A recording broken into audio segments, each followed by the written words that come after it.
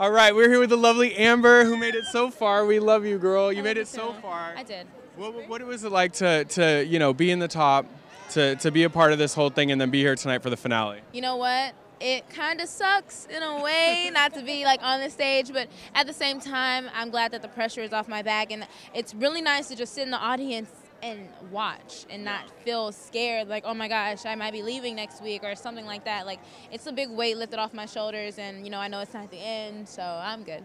What have you kind of thought so far, like what kind of album you want to make, and have you kind of gotten in that mindset now that Idol is almost done after the tour? I have been thinking, and I have been writing also. And you know, I want my, my album to be fun. I love to dance, and I want my music to make people want to dance. And at the same time, I want to have you know a couple of ballads because I've been compared to Whitney, and I would love to you know be kind of like her. But yeah.